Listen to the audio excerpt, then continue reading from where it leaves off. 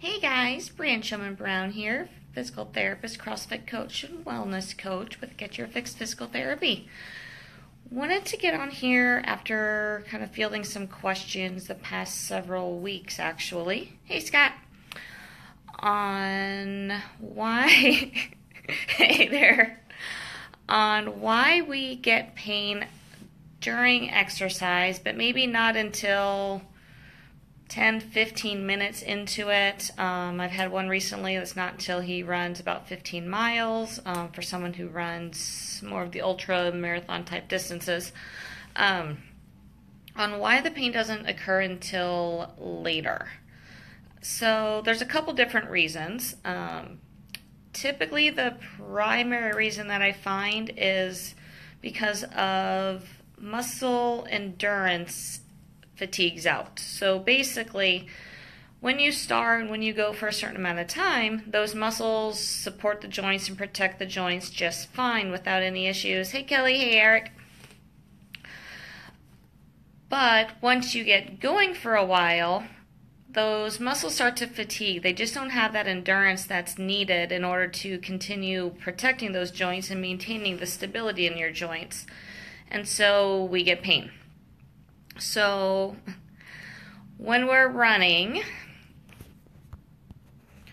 um, so if you're running, what can happen is the muscles in the lower leg typically or the hip tend to get tired. So over time, it causes the legs to kind of internally rotate, the knees to turn in a little bit, and that causes a lot of problem. Um, increased pressure on those joints in ways they aren't supposed to move, and so we start getting pain.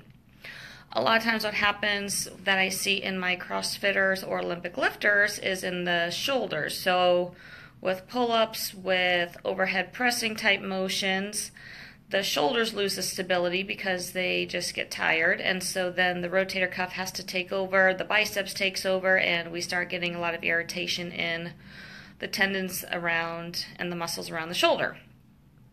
So uh, basically, we need to work. What happens happen is need to work on the stability in those muscles and getting that endurance in those muscles up rather than the necessarily the strength in them. The other thing that can happen is the joints just aren't moving properly. Um, your biomechanics are off in some way because something's not moving right. So, going back to running, if the hip is tight or the ankles are tight, typically the knee takes the brunt of it because the knee then starts moving in a way that it's not supposed to. And then it's over. Shoot. There we go. Okay. Ah. Sorry. Hand buzz on my phone. Over time, the joints just get tired of moving incorrectly, and so they cause they start getting painful. So your body to it basically tells your body to fix me. Same thing can happen. Um, go back and going back to the shoulder. If a lot of times with my overhead athletes, I find that the upper back, the thoracic spine, is not moving right. So the same thing can happen um, if that you don't get that extension through there when you're going to reach up overhead. The shoulder has to move a little bit more than it's supposed to. So over time, that shoulder um, joint gets irritated. So those are typically the two reasons why we get pain over a period of time, not in the beginning of our workout or our run.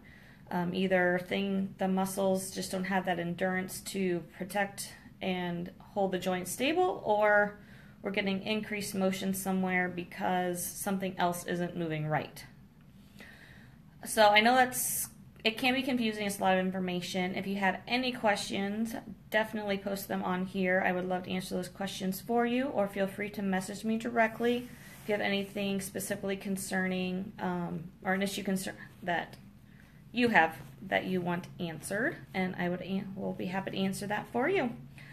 Um, and just one more reminder, since I won't, probably won't get a chance to get on here tomorrow, if you are local in the Phoenix area, I am doing my runner seminar on Saturday at 2 o'clock. So, at my office.